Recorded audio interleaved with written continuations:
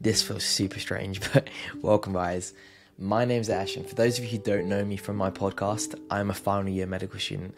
And I've always wanted to create a YouTube channel, honestly.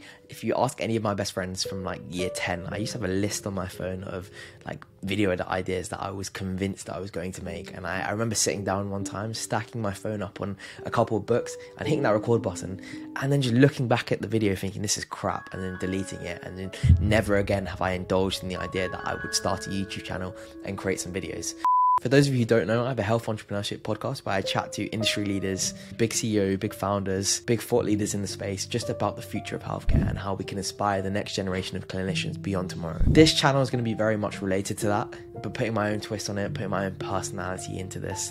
So yeah, it'll be a good opportunity for you guys to get to know my personality a bit better. Hopefully you don't get annoyed at me and then just stop listening to my podcast altogether. That is if you actually listen to it in the first place, to be fair. I've been talking on my podcast for the last God knows how long, six months about using ChatGPT in medical school education. I wrote a blog post on this on Medium and I also recorded a TikTok which went viral.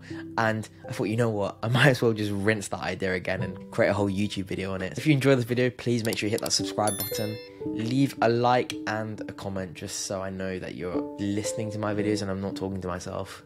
So since first year at uni, which was like 2019, I was trying to be perfect at med school. And this is something I talk about a lot on my podcast. Us medics, we're just taught to be perfect. Like, we have to get perfect grades, we have to have perfect attendance. So, at med school for the first couple of years, I was trying to make perfect notes from lectures. I was trying to make perfect flashcards. I was trying to get the best mark possible in pass med, doing as many questions as possible. This was all while struggling, trying to socialize, going to the gym, stuff like that.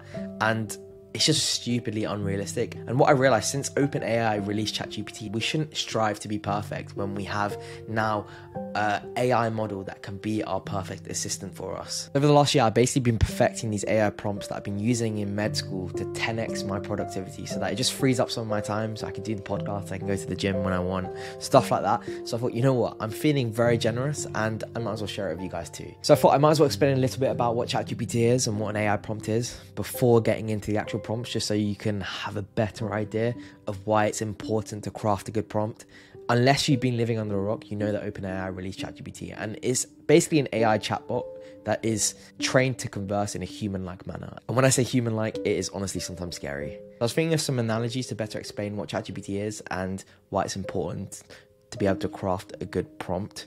In my all of one minute of brainstorming, I came up with so think of the AI model like a five star Michelin chef who can literally cook anything, limitless recipes under its belt, and tons and tons of years of experience. And so this chef can cook anything you want. You just need to tell the chef what you want. So this is the AI model. So two customers come in. The first one just asks the chef, Can you cook me something Italian? So the chef goes away, cooks something Italian for this person, gives it to the person, and they don't like it. It's not to their taste. Person two comes along and is very specific and asks the chef, Can I have a vegetarian pizza, thin base, stuffed crust with peppers, mushrooms, no onions? And the chef goes away, creates exactly that, and the customer loves it. The difference between the two customers is obviously one gave a very specific instruction on what they would like, and the other didn't. So you can think of an AI prompt kind of like that. So to get your desired outcome, and so that you're happy with what the answer ChatGPT gives you, you need to craft a very specific and very detailed prompt. Otherwise, you're going to get generic rubbish.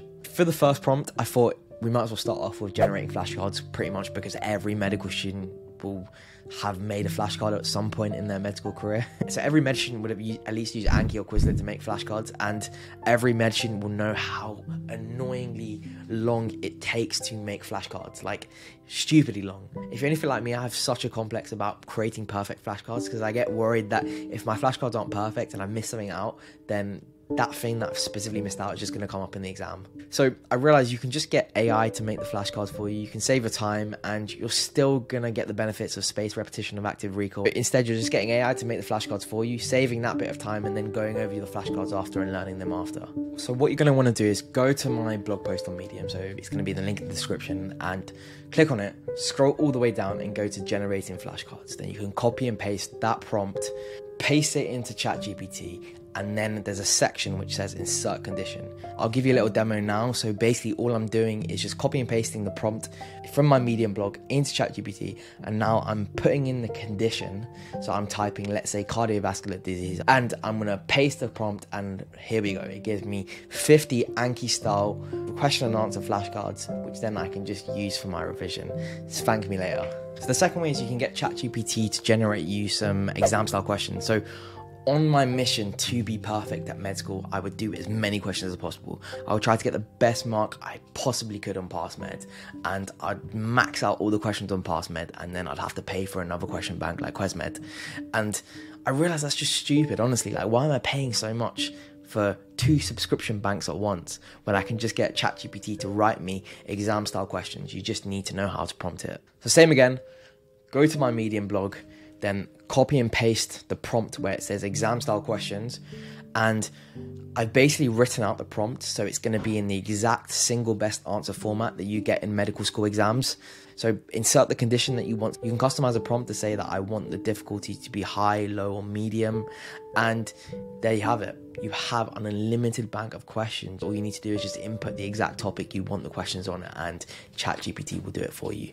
There you go. So the third way you can use ChatGPT in med school is by generating patient cases. So I would get so annoyed going onto the wards and just not finding a patient with a specific condition that we were on that week. So I created this prompt so that ChatGPT could act as a virtual patient for you, presenting with that certain condition. You can take notes from it. And so I need to give this quick disclaimer. Make sure you're not passing off these ChatGPT cases as your cases for your supervisor to get signed off for your DOPS because the GMC don't like that. Make sure you're still going into the wards, make sure you're still chatting to real patients, but if you can't find a patient, then use this prompt. Same again, going onto my blog post, scrolling down, going to generating patient cases, and I'm copying pasting this long ass prompt that took me ages to write and putting that into ChatGPT. Let's say for this condition, I want a patient presenting with ankylosing spondylitis. Click enter Look at that. There you go. I have just saved you countless hours on the ward. It was Alvin Toffler that said the illiterate of the 21st century won't be those that can't read and write, but it will be those that can't learn, unlearn, and then relearn. I want you guys to relearn the way that you've been taught to study at med school and not to strive for perfection anymore. Let's try and break this narrative as we look towards healthcare beyond tomorrow. So, thank you so much, guys, for listening. If you found this useful, then make sure you hit that subscribe button, leave a like rating, and check out my podcast episodes. So, hopefully, here's to the first of many YouTube videos.